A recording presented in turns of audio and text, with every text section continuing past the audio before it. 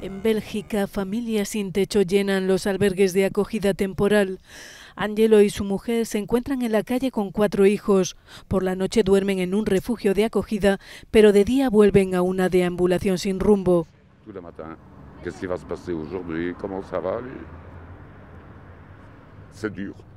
Es muy duro. Cada día me pregunto cómo vamos a hacer. Si estuviéramos mi mujer y yo solos todavía, pero están los niños.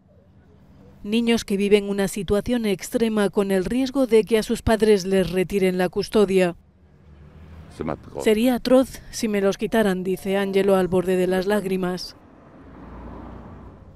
necesitarían una estructura que acogiera toda la familia durante varios meses, pero en Charleroi, unos 60 kilómetros al sur de Bruselas, este centro de acogida está completo. Aquí, Ludivina cría a sus dos hijas desde hace varios meses. Es duro para nosotros y para las niñas. Queríamos ofrecerles unas buenas condiciones, pero las cosas no han salido bien. Es otra familia sin hogar fueron desahuciados de una vivienda insalubre.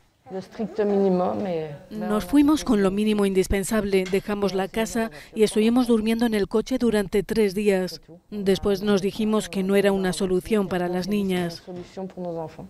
Los refugios están completos porque la precariedad de las familias es cada vez más frecuente.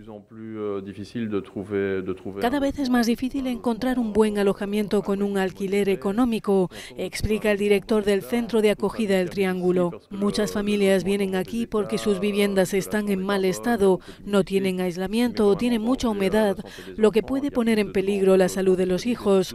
Resultado, hay más solicitudes que viviendas disponibles y con la subida de precios de la energía, las familias no pueden afrontar tantos gastos. Las cifras de ocupación baten récords. El número de niños que acogen aquí se ha duplicado en un año.